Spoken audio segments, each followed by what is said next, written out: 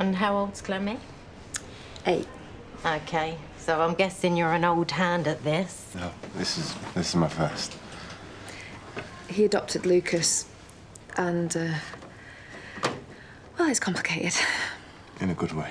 Well, at least you'll have had some practice. So what we're looking for today is to check the baby's heartbeat. Check we're talking about just the one. I have thought of that. We'll have a look at the placenta, amniotic fluid, and umbilical cord. And we should also be able to give you the all important estimated due date so you can start planning your time off.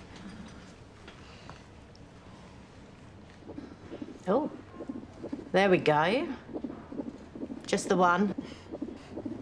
And that's a healthy heartbeat. Did you want to know the sex of the baby? Isn't it too soon? Oh, 16 weeks. you sure? Give or take. No, it, I'd rather it be a surprise.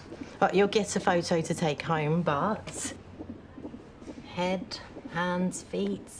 Looks to me like a happy, healthy little baby. You okay? Yeah. Sorry. Little toes. That's his toes. His? Can't see that, surely. Or hers. Just doesn't feel right saying it's. He's, she's beautiful. Anyone know where Kim's gone? Careful or you'll find out.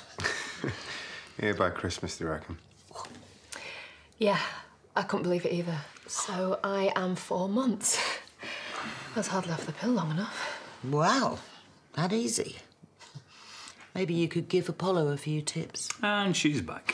What? Tiny bit inappropriate, but that is why I love you.